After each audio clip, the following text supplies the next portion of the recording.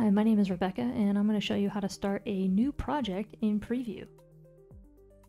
If you are starting Preview for the first time, you should take a look at a video we made on setting up your global preset. It is linked in the description below.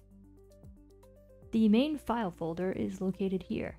You can click this stack or hamburger, and from this screen you can find your basic functions, like starting a new project, loading a previous project, or using the wizard.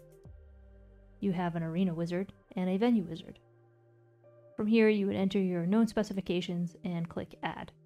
This is an example of an arena.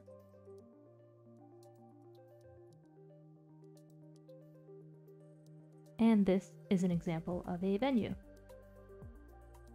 And you can also import a 3D model for more advanced venues. So that's it. That's the quick overview on setting up a new project in Preview. We have more detailed videos on each method, so please visit our channel for more tutorials on Preview. And thanks for watching.